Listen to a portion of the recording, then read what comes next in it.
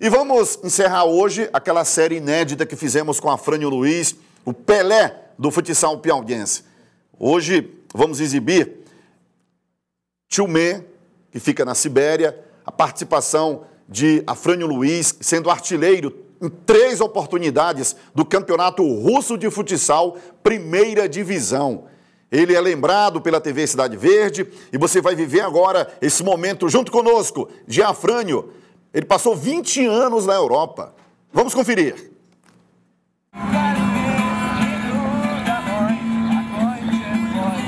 Em 2012, o Centro de Estudos Estratégicos da maior empresa russa de seguro elaborou uma relação com as cidades mais confortáveis para se viver na Rússia.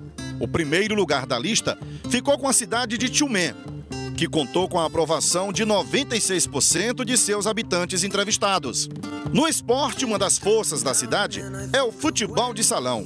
Vários investimentos e saldo satisfatório para uma modalidade que mexe com a população. Tilmen, que leva o nome da cidade, é um dos mais antigos e tradicionais do país.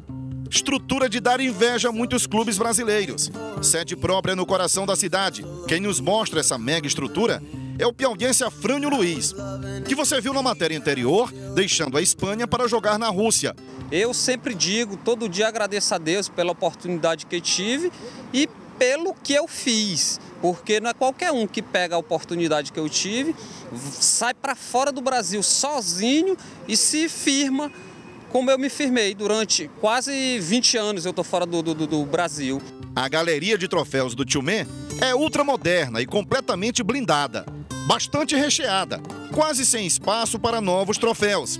Depois da aquisição de Afrânio, foram diversos títulos conquistados, como o tetracampeonato de Praga na República Tcheca, eleito melhor atleta do torneio internacional de São Petersburgo em 2008 e artilheiro em três edições seguidas do campeonato russo, sempre com o piauiense usando a tarja de capitão do time. O próprio presidente do clube, empresário Alexander Popov, cita o piauiense com bastante galhardia quando é perguntado sobre a importância dele para o Tchumé. Há seis anos tivemos um time jovem, inexperiente. E aí chegou a Frânio e soube ensinar aos nossos moleques como se joga futebol de salão, como se treina e como se comportar dentro de uma quadra do futsal. Esta temporada, a Frânio teve lesão séria, mas temos no Afrânio muita confiança. Em julho, termina o seu contrato e vamos ver o que fazemos. A intenção nossa é de renovar por mais um ano. Atualmente, a Fran está convivendo com um dos momentos mais marcantes de sua vitoriosa carreira. Uma contusão séria que lhe deixou fora das quadras desde o dia 25 de março deste ano, disputando o jogo pelo Campeonato Russo.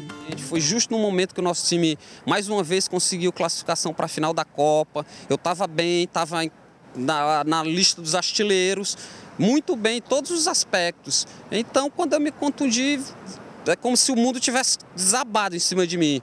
Ainda se recuperando da contusão, Afrânio se contenta em ver os jogos de sua equipe fora de casa em seu apartamento, reunindo amigos e também as esposas dos atletas. Aqui, todos vibram intensamente pela vitória do Tio Man.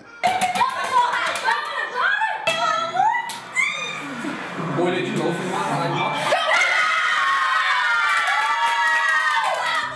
E é em situações como essa que Afrânio passa a maior parte do tempo nas horas vagas. Quando não é em sua residência, os encontros com os amigos brasileiros que defendem as cores do Tchumé acontecem no mesmo prédio onde reside o piauiense. A gente sempre reúne as esposas, né, e os jogadores que porventura não podem estar junto com o time por lesão ou às vezes cartão, suspensão, a gente sempre reúne para assistir os jogos juntos é bacana. A gente torce junto, sofre junto, tanto quanto eles. Acho que sofre até mais, né? Porque tá aqui, se sente impotente, não pode fazer nada.